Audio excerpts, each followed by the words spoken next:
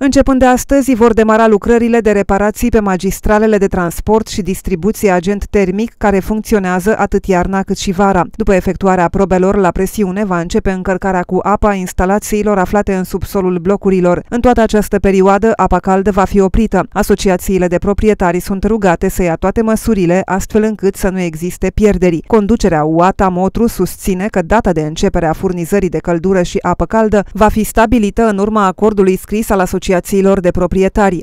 La finele săptămânii trecute, UATA Motruesa a primit de la guvern din fondul de rezervă al statului suma de 80 de miliarde de lei vechi necesari funcționării în această iarnă cât și pe viitor. Suma reprezintă acoperirea pierderilor induse pe anii 2017 și 2018, dar și subvențiile pe diferența de preț a gigacaloriei necesare în această iarnă. Conducerea unității consideră că apune perioada insolvenței. Practic, vorbind de ieșirea societății din insolvență odată cu achitarea ultimelor sume din programul de reorganizare. Să fac toate demersurile pe instanță pentru că judecătorul sindic este cel care va pronunța această decizie după ce va constata că a fost în totalitate îndeplinit programul de reorganizare. Repet, suma de bani este suficientă pentru acoperirea datoriilor și pentru funcționarea în iarna asta și pentru perioada următoare. UATA Motru a intrat în insolvență în luna noiembrie a anului 2015.